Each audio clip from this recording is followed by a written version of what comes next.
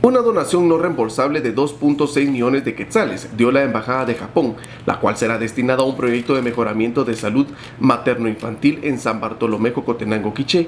Además, se contempla la construcción de un salón de capacitaciones para comadronas, lo cual permitirá mejorar sus conocimientos y habilidades para crear alianzas entre las comunidades y autoridades de salud por medio de establecimientos y capacitaciones, comisión de salud y servicio municipal. A partir de hoy, con la firma de este convenio, se trabajará un año más con este proyecto. Espero que el sistema de salud mejore para la gente y se logre contribuir al desarrollo de dicha área eventualmente se pueda replicar este proyecto en toda Guatemala. Dicho proyecto será ejecutado por medio de AMNA Means para ejecutar la segunda fase, que representará un beneficio para 11.000 personas de 14 comunidades. Cabe mencionar que las comadronas están ahora más concientizadas en relación a la importancia de referencia alcanzándose 306 referencias en nueve meses. Y atención en CAP está aumentando.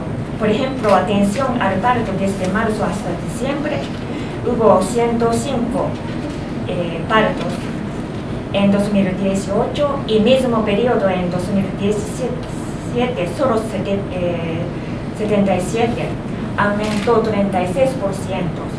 y atención prenatal aumentó 21% en los mismos nueve meses.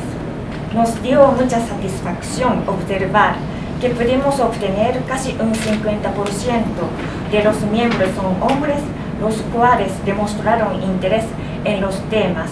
Y vimos que 74 de los 81 miembros hicieron réplicas del tema en sus comunidades. Las mejoras en San Bartolomé Cotenango han permitido alcanzar la cero mortalidad materna, de acuerdo con Glenda Martínez, coordinadora del proyecto de dicha localidad. Según Martínez, lo anterior es el resultado del trabajo en conjunto entre la comunidad internacional, comunitarios y Ministerio de Salud. En la actualidad, se han fortalecido 20 puestos de salud, capacitado 90 comadronas y profesionalizado a 75 miembros de la Comisión de Salud. Para DCATV informó Noé Pérez.